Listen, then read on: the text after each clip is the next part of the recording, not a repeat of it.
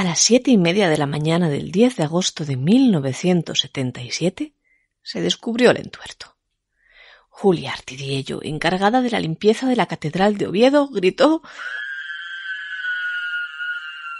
como si acabase de descubrir un crimen. Dijo, a las siete y media de la mañana, como de costumbre, llegué a la catedral. Abrí la puerta y nada más entrar me di cuenta de que uno de los lampadarios se encontraba en el suelo. Sospeché que algo raro había pasado, por lo que me di una vuelta por toda la catedral, encontrándome los cepillos de las limosnas violentados y en el suelo. Me dirigí a la cámara santa y vi que una soga colgaba de un atrio. Tuve miedo y no me atreví a seguir adelante.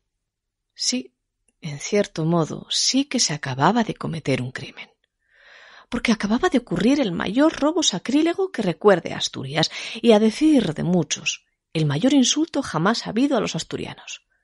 La Cámara Santa estaba destrozada, y las cruces que se guardaban en su interior, la de los ángeles y la de la Victoria, así como la caja de las ágatas, saqueadas apenas y convertidas en un amasijo de maderas.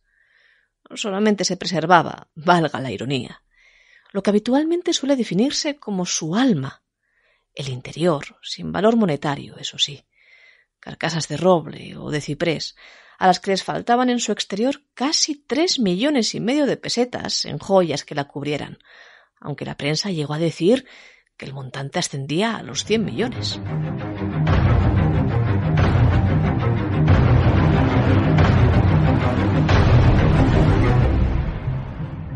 Se habían llevado no todo, pero sí una gran parte lo más visible de la caja de las ágatas donada a la Catedral de San Salvador en una fecha tan temprana como el año 910, por Fruela de Asturias y Nunilo Jimena, su mujer. De la Cruz de la Victoria también, nuestro símbolo por excelencia, donada por Alfonso III y Jimena de Asturias en el 908 y construida en el castillo de Gauzón. Y también de la Cruz de los Ángeles, la primera que se donó en el año 808 por Alfonso II y también a la catedral.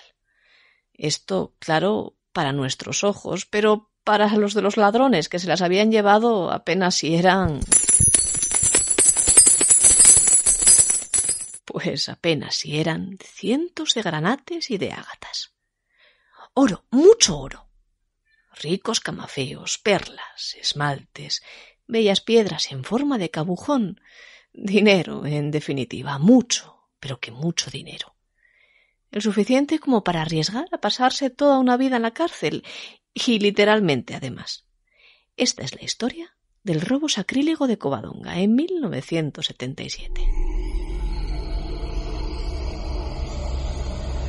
Han pasado ya 43 años. Pero no se olvida. Brutal insulto a Asturias, tituló el comercio del 11 de julio. El asalto a la Cámara Santa, y la destrucción de sus más valiosas joyas plantea un caso de negligencia manifiesta, subtitulamos. Y es que las condiciones de seguridad con las que se guardaban las joyas no eran precisamente las más idóneas. Los ladrones, encaramados a un tejadillo tras entrar como visitantes al recinto, atravesaron hasta ocho puertas, forzándolas con una palanqueta del tipo pata de cabra, que encontraron, decían, allí mismo. Se la habían dejado, decía una primera versión, los obreros que acometían las obras de la techumbre de la catedral en los días previos. La indignación fue máxima, claro. Hubo quien, dijimos, hubo quien pidió a viva voz, tras declararse católico, la cabeza del gobernador civil de la provincia, la del alcalde de Oviedo y la del responsable eclesiástico. Menos mal, eso sí, que la búsqueda de los culpables no duró precisamente mucho tiempo.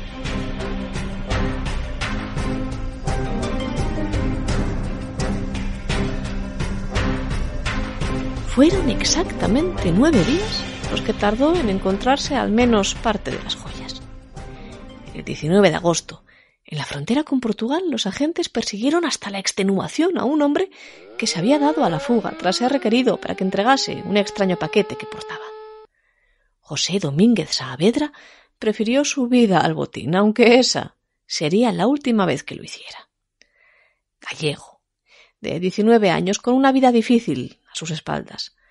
Dejó abandonado al bulto, que contenía más de doscientas cincuenta azulinas, esmeraldas, ágatas, esmaltes y otras joyas preciosas.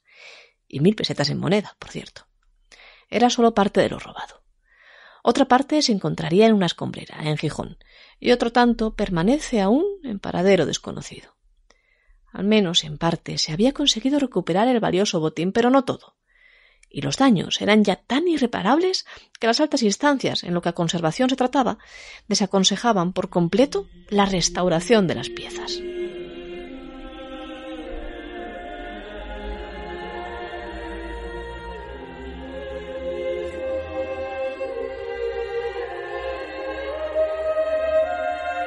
Pero no les hicimos caso. Y menos mal. Pues sí, menos mal que no les hicimos caso. Eso sí, hasta 30 millones de pesetas costó en su día reparar las joyas, pero se hizo con total precisión. Las obras de restauración, dirigidas por Carlos Álvarez de Benito, duraron casi una década y respetaron los huecos vacíos de las joyas que nunca se llegaron a recuperar. José Domínguez Saavedra, por su parte, fue juzgado, claro y condenado a diez años de prisión por haber actuado con nocturnidad y siendo reincidente doblemente, ya que no se tuvo en cuenta la circunstancia de que el robo hubiera ocurrido en un lugar de culto, como quería la defensa, la fiscalía. Su abogado, Antonio Masip, consiguió demostrar que no lo era la Cámara Santa, que más que iglesia o lugar de culto, era más bien un museo. Saavedra se quejaría amargamente de ser condenado tan gravemente frente a importantes casos de corrupción como el de Matesa, sin sentencia aún en España.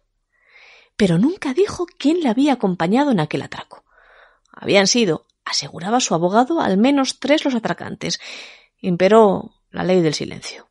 Y Saavedra acabó muriendo en prisión en el año 2012, encadenando condenas y condenas.